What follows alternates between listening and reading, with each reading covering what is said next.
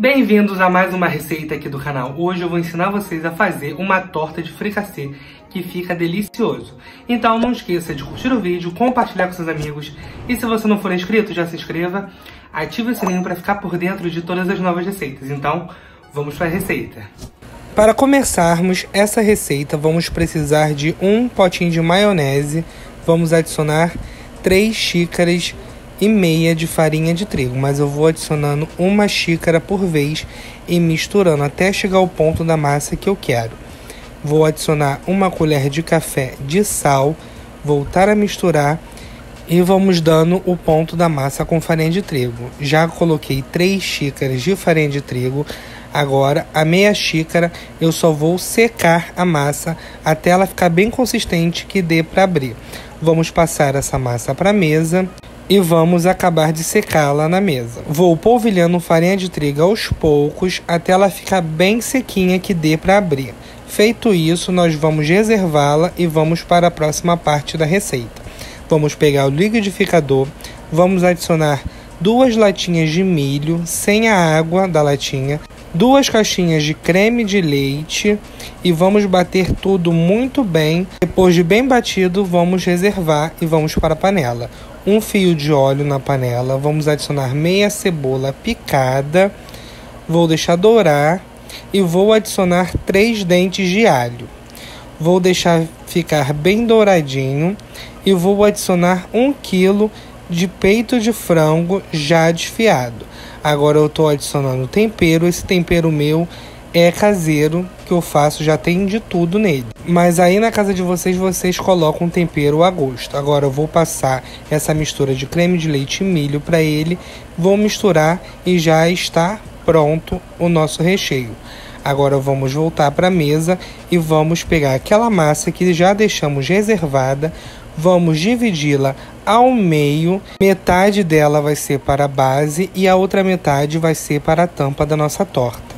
Vou fazer uma bolinha e vou abri-la conforme a forma que eu vou utilizar. Como ela é redonda, abrir redondo.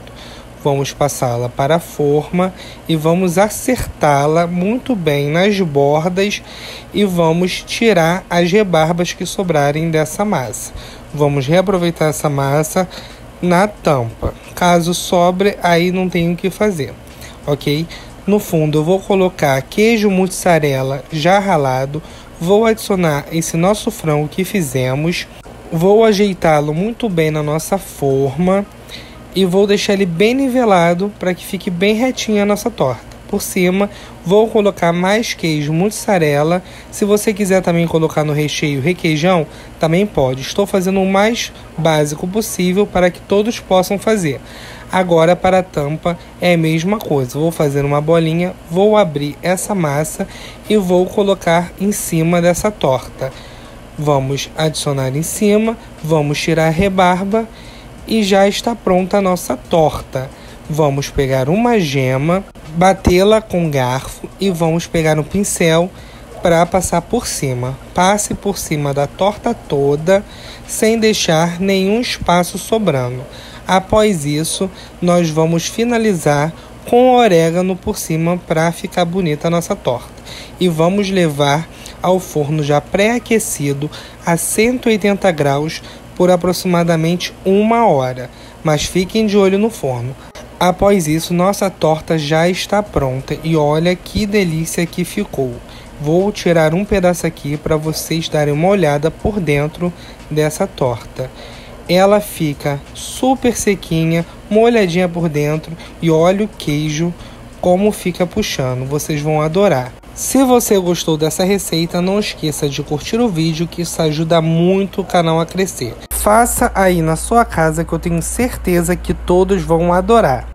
Então, gente, se você gostou da receita, não esqueça de deixar aqui seu comentário me dizendo o que você achou dessa receita. Agora eu vou ficar aqui provando essa delícia. Olha isso. Tem como ficar ruim? Impossível.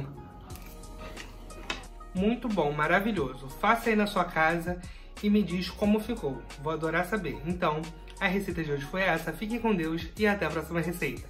Tchau, tchau!